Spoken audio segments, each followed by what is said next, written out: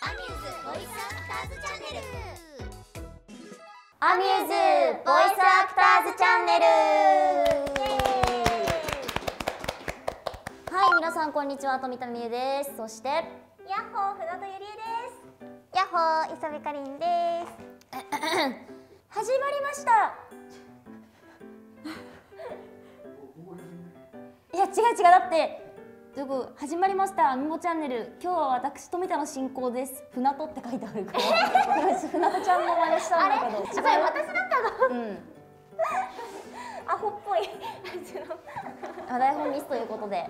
はい、えー、今日は私富田が進行をします、えー今回はチャレンジ企画として面接しりとりは成立するのかを検証していきたいと思います。しないでしょえー面接官の質問の語尾をしりとり形式で答えてもらいます、まあ、例えば「お名前は?」って面接官に聞かれたら「は」から始まるように回答してもらいます。ちなみに面接官は順番にやっていくというか順番で決めていきたいと思っております。頑張ります。誰一人として乗り気じゃないんだよはいじゃあここが面接官ね。そうです。わかりました。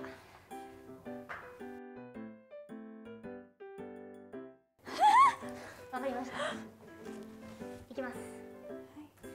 えー、今日はお越しいただきありがとうございます。ありがとうございます。はい、はい、えー、ここ遊園地のあのまあアルバイトということで、二人ちょっと受けにね来てくれたみたいだけど、はい、じゃあまずはお名前から伺おうかなこちらの方から、名古屋県から来ました富田美優22歳です。よろしくお願いします。よろしくお願いします。はい。ゆうちゃんって名古屋出身？違うよ。な？奈良県から来ました磯部かりんです。よろしくお願いします。うん笑顔がいいね。はい。うんありがとう一番何が好きかな？この面接官ダメだ。聞こえてるよ。はいはい。磯部さん。なかなか一つを選ぶのは難しいですが やっぱりメリーゴーランドが好きです。ああーーいいねね。ありがとう。はい。何でもある遊園地だとお聞きしたんですけどもうん。私は高いところが好きなのでうん。観覧車とか素敵かなって思います。なるほどね。ありがとう。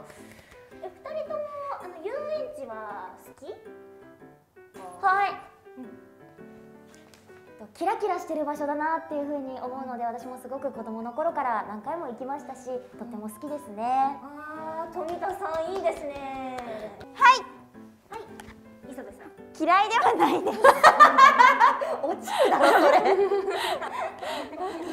嫌いではない。ありがとうございます。じゃあズバリ自分がここで働くとなってどんな、えー、風にどんな、えー、お客さんちょっと待ってね。ちょっと待ってね。大丈夫かここの会社大丈夫かな？大丈夫だよ。じゃあ。分かった。ズバリうちで働くことになったらどんな会社に、えー、していきたいですか？えもう「か」でいい「か」でいいの？うんかでいいよ、はい。どんな風な？はい。カップルでこの遊園地にいらっしゃる方もたくさんいるだろうし家族で来たりとか友達で来たりとかいろんな方がこの遊園地に来てくださると思うんですけど一生の思い出になる素敵な遊園地だと思っているので謙虚さを忘れず努力もして頑張っていきたいなと思っております。ありがとう。はい磯部さん。かけがえのない 時間を皆さんにご提供できるように頑張りたいです。終わり。ありがとうございました。ありがとうございまありしたがとうございました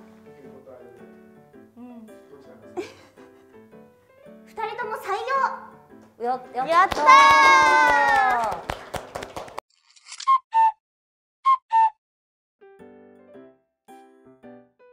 難しい。今回はとってもドジだけどとっても可愛い僕の妹のオーディションに お越しいただき誠にありがとうございます。ありそうなんだよな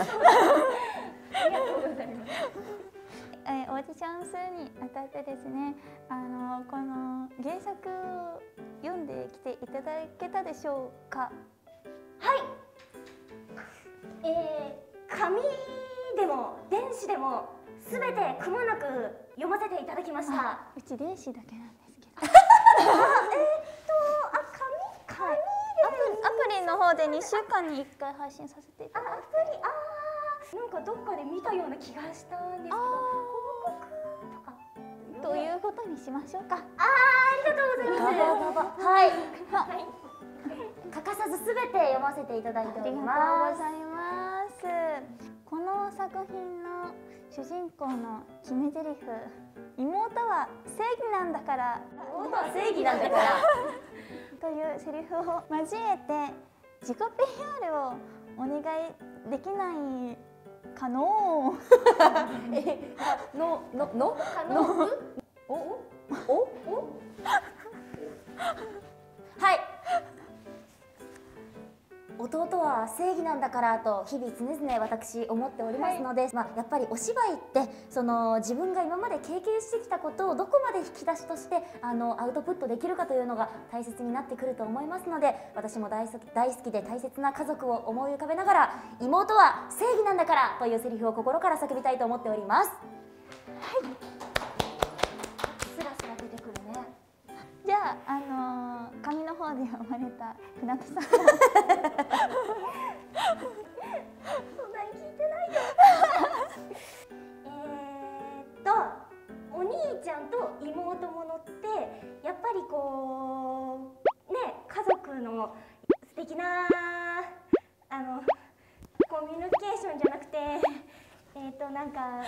まあ家族愛とかなんかそういうのも全部込められててお兄ちゃんのそのセリフえー妹は正義なんだからっていうのも、えー、全てにこう何か意味がこもってるのかなって思いましたありがとうございましたありがとうございますこれ後でスタッフさんが字幕で起こすとき大変そう。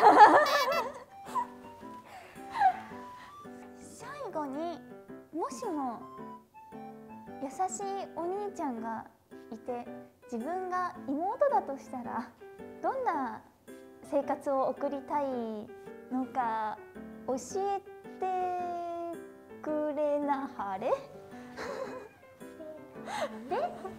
あれいける。お願いします。冷蔵庫にあるプリンをはい。お前が食べていいよって言ってくれるくらい優しいお兄ちゃんだったとして、はいまあ、自分も優しさをもらってばかりじゃいけないと。なので私もこういうお仕事とかを通して実際にお兄ちゃんがいたとしたら今までお兄ちゃんがしてくれた優しさの分の恩返しを日々していけるような妹になれたらと思っております。ほーいい妹だわでいけますか？語尾は何がいいですかね？選ばしてくれる。選ばしてくれる。優しい。出してくれるのじゃあわ教えてもらわなきゃ困りますわ。はい。えー、私のえー実際にいるお兄ちゃんもとても優しくってえっ、とあえっ、とタイトル何でしたっけ？とってもちょっと待って覚え誰も覚えてない。え、なんだったっ ちょっと見ていろんな人が頭抱えてる。もう絶対落ちたじけ以上で面接の方はおしまいになります。ゃんはい。富田さんにははい。お兄ちゃんの役をあやったやっていただいて船田さんには妹の友達？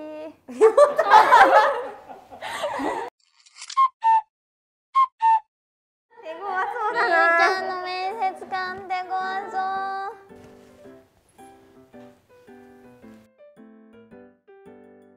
皆さん今日は面接にお集まりいただきありがとうございます。ありがとうございます。じゃあ早速質問の方をさせていただきたいんですけどもはい。グローバルに活動していくお仕事になりますのであのぜひね、あの文の最後にワンワードちょっと英語の方もね使っていただいてお答えいただけたらと思っております。英語？はい。よかった。私これに当たんなくてじゃあまずシンプルに、えっと、この会社を志望した理由をお聞かせ願えますか？えはい。じゃあ磯部さん。えー可能性が無限に広がるこの会社で皆様のあのちょっとまとまってから言っていただいてよろしいですか？はい。はい。ああふさんどうぞ。可能性を見出したかったからです。え英語？ねえこんなどんぐりの背比べがありますか？この会社は、まあ、グローバルにね活動していく会社にしていきたいということで、い。日本だけではなくて世界各国の方から愛される会社にしていくにはどういう心がけが必要だと思うでやんす？はい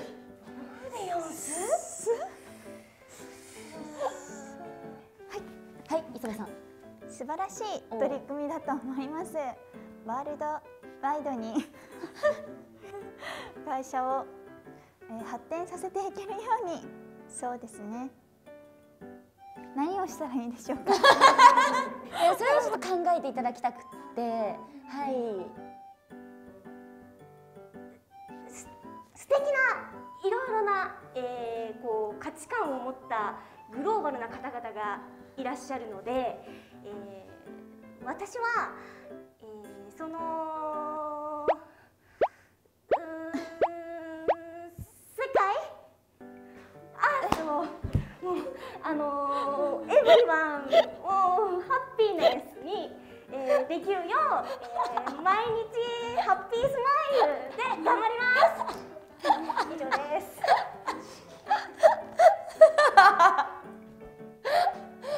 とうございます。じゃあ、じゃあ最後の質問にしましょうか。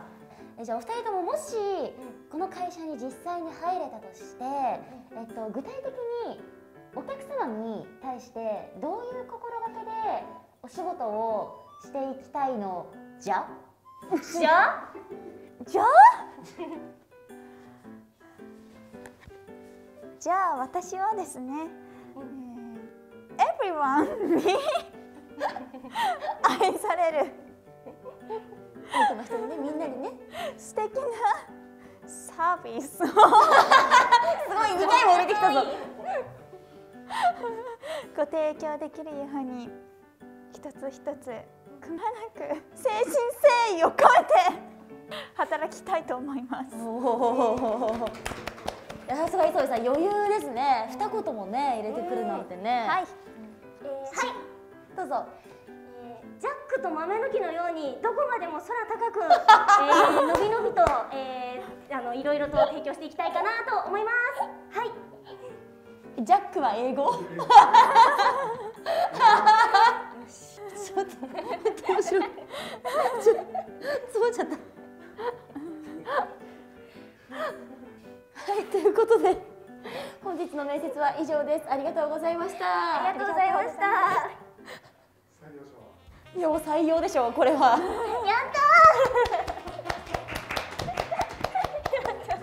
皆さんも難しいんでぜひ試してみてください、えーそれでは番組のチャンネル登録高評価よろしくお願いしますまたねバジャックやばい。ジャックやばいなジャックやばい天才。が出てこなかった。いやさすがですね